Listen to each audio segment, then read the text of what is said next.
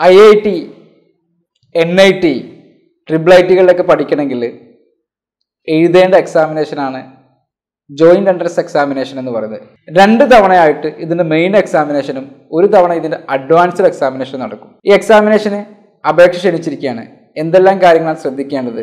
നിങ്ങൾ അറിയേണ്ട എല്ലാ കാര്യങ്ങളും ഉൾപ്പെടുത്തിയുള്ള വീഡിയോ ആണ്. വീഡിയോ മുഴുവനായിട്ടും കാണാൻ ശ്രമിക്കുക. ഞാൻ Saif Valapra career designer and skill finder from സ്കിയോളോ assessment centre Kondotty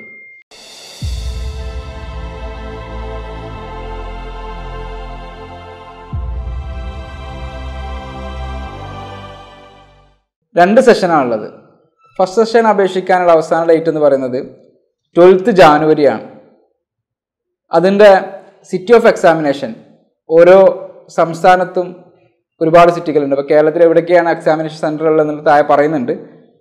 അത് നിങ്ങൾക്ക് ജനുവരി സെക്കൻഡ് വീക്കിൽ ഇവർ പബ്ലിഷ് ചെയ്യും. നിങ്ങൾക്ക് ആ സിറ്റി സെലക്ട് ചെയ്യാൻ പറ്റും. നിങ്ങൾക്ക് ഏതാണോ എക്സാമിനേഷൻ സെന്റർ വേണ്ടത് അപ്പോൾ സെലക്ട് ചെയ്യാൻ പറ്റും.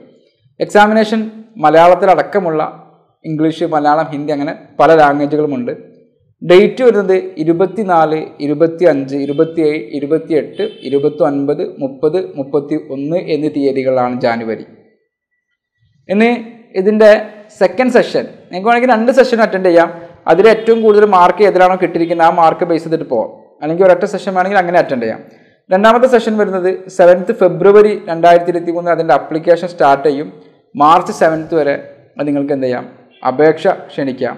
അതിന്റെ examination sixth seventh eighth ninth tenth eleven twelfth April രണ്ടായിരത്തി ഇരുപത്തി മൂന്നിൽ ഈ തീയതികളിലൊക്കെ ആയിട്ട് നടക്കും. ഓരോ ആളുകൾക്കുള്ള എക്സാമിനേഷൻ വ്യത്യസ്തമായിരിക്കും. കമ്പ്യൂട്ടർ ബേസ്ഡ് എക്സാമിനേഷനാണ് ഇങ്ങനെ ഡ്യൂറേഷൻ ഓഫ് എക്സാമിനേഷൻ എന്നുള്ളതാണ്. എത്രയാണ് ഈ എക്സാമിനേഷന്റെ സമയം?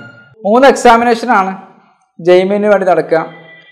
ബി ടെക് അതേപോലെ തന്നെ B arch B planning B ടെക്കിന് മൂന്ന് മണിക്കൂറും ബാക്കിയുള്ളതിന് മൂന്ന് മണിക്കൂറും മുപ്പത് മിനിറ്റ്. ബി ആർക്കും ബി പ്ലാനിങ്ങും മൂന്ന് മണിക്കൂർ മുപ്പത് മിനിറ്റുമാണ് എന്ത് ചെയ്യുക ഇതിന്റെ എക്സാമിനേഷൻ ടൈമായിട്ട് വരുന്നത്. ബി ടെക്കിന് വേണ്ടിയിട്ടുള്ള എക്സാമിനേഷൻ രണ്ട് സെഷനാണ് ഫസ്റ്റ് ഷിഫ്റ്റ് എന്ന് പറയുന്നത് nine to twelve afternoon three to six B ആർക്കും ബി പ്ലാനും ആണെങ്കിൽ nine to twelve thirty afternoon three to six thirty ഈ രീതിയിലാണ് എക്സാമിനേഷൻ നടക്കുന്നത്. അപ്ലിക്കേഷൻ ഫീ വരുന്നത് എങ്ങനെയാണ്? ഒരു പേപ്പർ എഴുതിയാൽ മതിയെങ്കിൽ. ബി ടെക്കിന്റെ പേപ്പർ മാത്രം അറ്റൻഡ് ചെയ്താൽ മതി. അല്ലെങ്കിൽ ബി ആർക്ക് മാത്രം അറ്റൻഡ് ചെയ്താൽ മതി. അല്ലെങ്കിൽ ബി പ്ലാനിങ് മാത്രമാണെങ്കിൽ നിങ്ങൾക്ക് general category O B C E W S ഒക്കെ ആണെങ്കിൽ മെയിലിന് തൗസൻഡും ഫീമെയിലിന് എയ്റ്റ് ഹൺഡ്രഡും ആണ്. എസ് സി എസ് ടി ആണെങ്കിൽ male and female five hundred ഇനി നിങ്ങൾക്ക് ഇതിൽ മൂന്ന് പേപ്പറോ അല്ലെങ്കിൽ രണ്ട് പേപ്പറോ ഒക്കെ എഴുതണമെങ്കിൽ മെയിൽ ജനറലൊക്കെ വരുന്നത് ടു തൗസൻഡ് ആണ്. Female one thousand six hundred ആണ്. എസ് സി എസ് ടി ഒക്കെ തൗസൻഡ് വെച്ചിട്ടാണ് ഇതിന്റെ ഫീ സ്ട്രക്ചർ വരുന്നത്. എന്തെല്ലാം ഡോക്യുമെന്റ് ആണ് അപേക്ഷിക്കുന്ന സമയത്ത് അപ്ലോഡ് ചെയ്യേണ്ടത്? ആദ്യം നിങ്ങളുടെ ഫോട്ടോ വേണം.